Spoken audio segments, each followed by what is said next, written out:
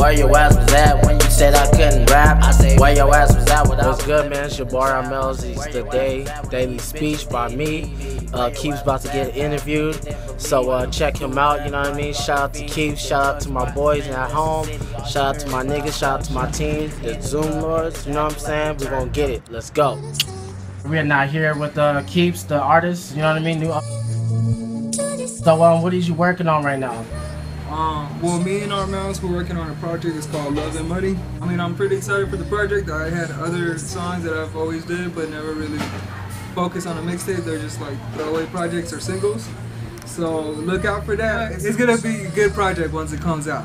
And I just want to say thank you to R-Mellz for being patient with me because that motherfucker pushes out like fucking three or four songs in one night. I don't know how the fuck he does that shit. Do you have like a studio or anything or? Currently, I don't have like a professional studio, but I got a studio that makes shit happen.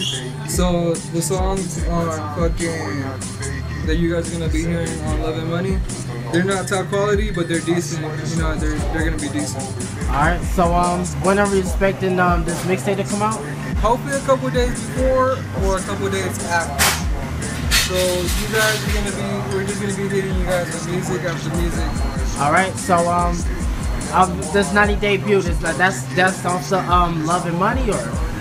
Um, yeah, we're actually uh, we're gonna if it's okay with mess, I want to put it in the Love and Money.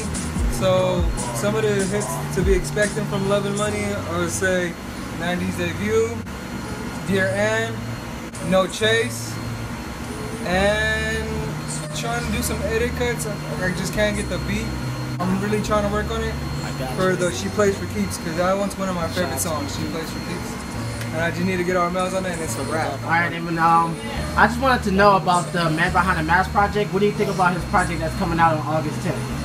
Um, so he showed me some of the songs and just expect fire. He, he got fucking bars. You, he got bars.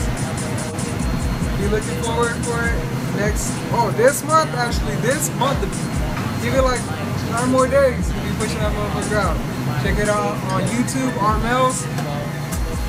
But yeah. Are we expecting a project out of you pretty soon, or an album, or mixtape?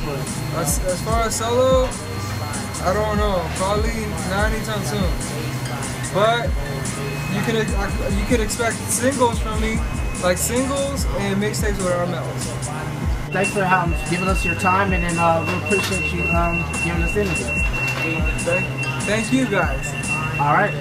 Please calm down, get your ass knocked off, and take your black off from your shoes from the rocks.